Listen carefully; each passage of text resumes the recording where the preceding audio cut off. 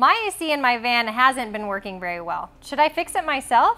I'm here with my friend Dustin at Main Street Mechanic to answer my question. That's a great question, Jessica. We get that a lot. The first thing we need to understand is Freon is a refrigerant. It is a gas. It's the same stuff they use in your AC in your refrigerator at home, also in the AC in your home. If it's low, it's leaking somewhere. And where it's a gas, you can't see it. It doesn't leave anything behind. So what we need to do is go in and inspect the system, make sure all the components are functioning the way they should, check your Freon levels, make sure they're within their tolerances. If they are within their tolerances, we need to find the component that isn't working. If it's low, we need to figure out where the Freon went.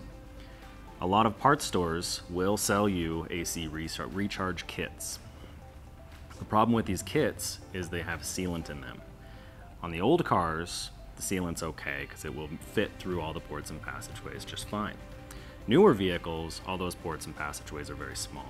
Oh. So that sealant ends up plugging the system up and costing you more to fix than the initial leak or recharge would have. So I probably shouldn't try to fix it myself. No, the problem with trying to fix it yourself is it may end up costing you more money in the end. If it was just a small leak, we can fix that leak, recharge the system, and send you on your way.